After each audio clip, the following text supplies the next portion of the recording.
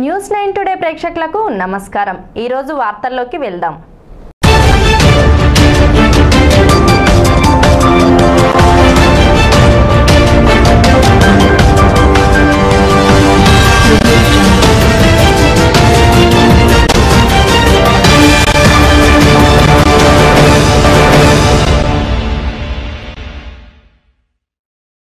అవినీతి పరులను కాపాడటంలో తెలంగాణ రాష్ట్రం ముందుందని ఎమ్మెల్యే రేవంత్ రెడ్డి ఆరోపించారు.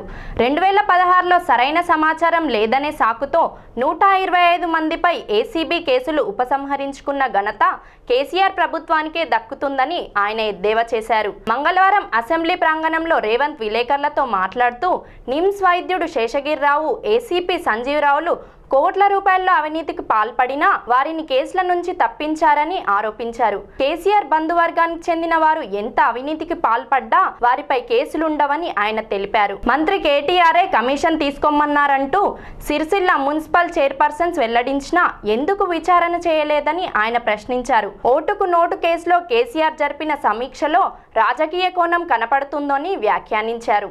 నిత్యం భక్తులతో రద్దీగా ఉండే సికింద్రాబాద్లోని లక్ష్మీ గణపతి దేవాలయం మధ్యాహ్నం ఒంటి గంట ముప్పై నిమిషాల సమయంలో కొంతమంది ముష్కరులు దేవాలయంలోకి ప్రవేశించారు. దేవాలయంలో డిటోనేటర్లు బాంబులు అమర్చారు. కొందరు భక్తులు ఆలయ సిబ్బందిని బంధించారు. దీన్ని సీసీ కెమెరాల్లో గమనించిన ఆలయ చైర్మన్ ఈవోలు వెంటనే గోపాల్పురం పోలీసులకు సమాచారం అందించారు. వెంటనే స్థానిక పోలీసులతో పాటు ఆక్టోపస్ సిబ్బంది రంగంలోకి దిగారు. చేతిలో అత్యాధునిక ఆయుధాలు మాస్క్ ధరించిన ఆక్టోపస్ సిబ్బంది రెండు గ్రూపులుగా విడిపోయి దేవాలయంలోకి ప్రవేశించి చాకచక్యంతో బందీలను విడిపించారు. బాంబులను నిర్వీర్యం చేసి ముష్కరులను అంతమొందించారు. ఇదంతా నిజం కాదు. కానీ నిజంగా అలా జరిగితే ఎలా ఉంటుంది?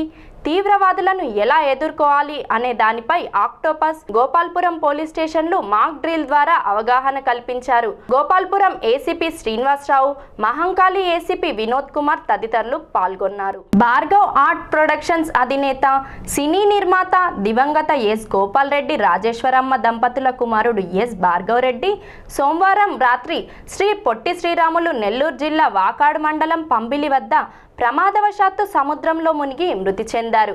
వివరాల్లోకి వెళ్తే భార్గవ్ రెడ్డి తన పెంపుడు కుక్కను తీసుకొని పక్కనే ఉన్న సముద్రం వద్దకు వెళ్ళారు అక్కడ కుక్కకు స్నానం చేయించే సమయంలో వాతావరణంలో మార్పు కారణంగా అలల తాకిడి ఎక్కువగా ఉండడంతో కుక్కతో సహా సముద్రంలోకి కొట్టుకుపోయారంటూ భావిస్తున్నారు. మండలంలోని శ్రీనివాస్పురం సముద్రం ఒడ్డుకు మృతదేహం కొట్టుకువచ్చింది. సమాచారం తెలుసుకున్న పలువురు ప్రముఖులు బంధువులు పెంబిలికి చేరుకున్నారు. కృష్ణా జలాల నీటి లెక్కలపై ఇంకా స్పష్టత రావడం లేదు. జూన్ నుంచి వాటర్ ఇయర్ మొదలయ్యేందుకు మరో ఇరవై రోజుల గడువే ఉన్నా కృష్ణా జలాల పంపిణీపై ఇంతవరకు కేంద్ర ప్రభుత్వం నుంచి ఎలాంటి స్పందన లేదు. కృష్ణాలో ప్రస్తుతం ఏపీ తెలంగాణ రాష్ట్రాల మధ్య ఉన్న తాత్కాలిక ఒప్పందాలను సవరించాలని కోరుకున్నా కేంద్రం పట్టించుకున్న పాపాన పోవడం లేదు. కృష్ణా జలాల నీటి వినియోగంపై రెండు తెలుగు రాష్ట్రాల మధ్య ఎడతెగని వివాదాల నేపథ్యంలో రెండు వేల పదిహేనులో జూన్ ఇరవై ఒకటి ఇరవై రెండున ఇరు రాష్ట్రాల అధికారులతో సమావేశమైన కేంద్ర జల వనరుల శాఖ ఉన్నతాధికారులు ఏపీకి ఐదు వందల పన్నెండు తెలంగాణకు రెండు వందల తొంభై తొమ్మిది టీఎంసీల చొప్పున పంపిణీ చేస్తూ తాత్కాలిక కేటాయింపు చేశారు. దీనికి మొదట ఇరు రాష్ట్రాల మధ్య అంగీకారం కుదిరినా మరుసటి ఏడాది నుంచి ఇరు రాష్ట్రాలు దీనిపై అభ్యంతరాలు తెలిపాయి. ముఖ్యమంత్రి కె. చంద్రశేఖరరావు గారు బుధవారం మెదక్ జిల్లాలో పర్యటించనున్నారు. నూతన జిల్లాల ఏర్పాటు అనంతరం మొదటిసారిగా జిల్లాకు రానున్నారు. దీంతో టీఆర్ఎస్ శ్రేణులు సీఎం పర్యటనను ప్రతిష్టాత్మకంగా తీసుకొని ఏర్పాట్లు చేశారు. నీటి పారుదల శాఖ మంత్రి హరీష్ రావు గారు రెండు రోజులుగా పట్నంలోనే మకాం వేసి ఏర్పాట్లను పర్యవేక్షిస్తున్నారు.